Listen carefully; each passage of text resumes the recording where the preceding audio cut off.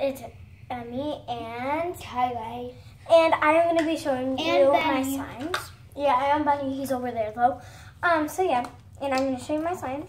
This is my sign collection. I started from one, and now I have nine. Right. Yeah, well, we're sharing them. The first one I'm gonna say is well, sort of nine. It's like nine, or eight and a half. Yeah, eight and a half. Um, so this slime is the first slime I'm gonna show you, and it is like a sea green slime, and it's a foam slime.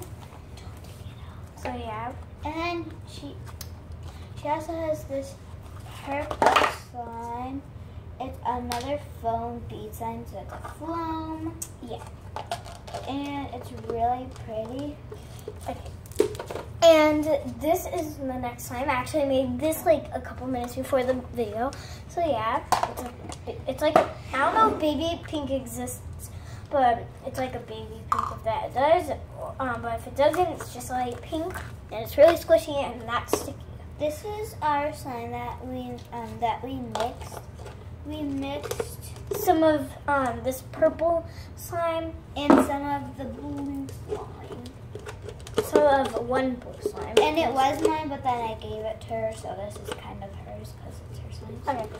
But uh, it's a foam again. It's really nice. And no, she made it out of this one. Right?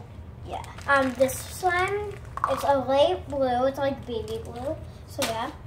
And the, this, I'm gonna show you the one that. She has this. Yeah, this one is made out of this one. It's also foam with a tinier foam though. Okay.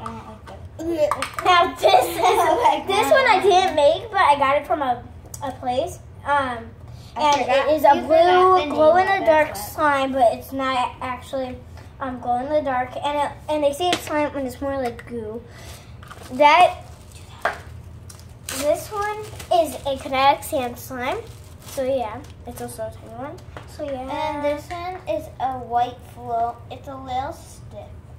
um, is that awesome? Yep. Okay, So please like, subscribe, and comment down below, and we'll see you in the next video. Bye. Bye. Sorry for the short video.